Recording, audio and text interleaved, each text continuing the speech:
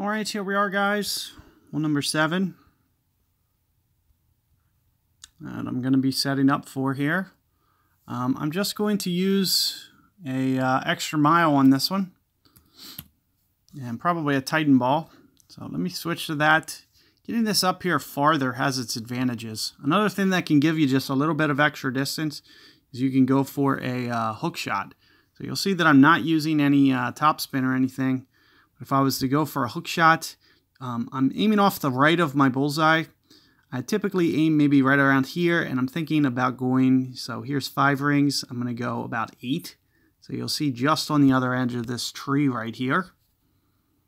and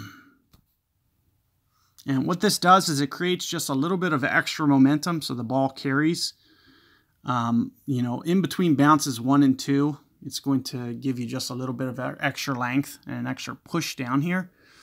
And all the extra length that you can get makes the drive just a little bit longer.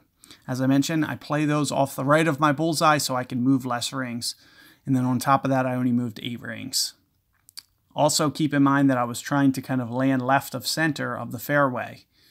So I, I wanted to make sure that I created enough angle that I didn't get too tight to this right edge. So I was trying to land kind of left of center there intentionally.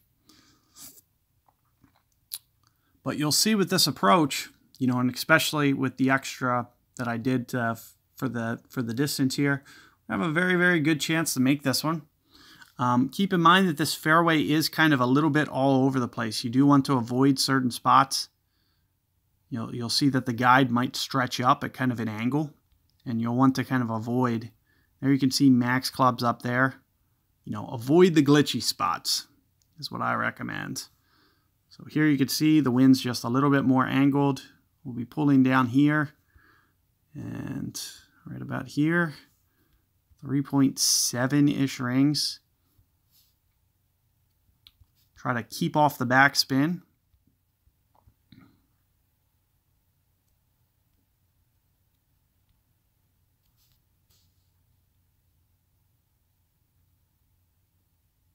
And again, just try to avoid those glitchy spots on the fairway.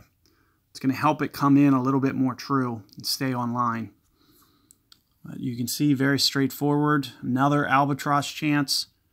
Um, you're going to be able to get, you know, all of these holes rather easily. Um, the, the secret is just kind of, you know, getting your perfect ball and concentrating on that timing. And you'll be able to really put up a good number on this score. So good luck there, and I will catch you guys on hole 8 momentarily.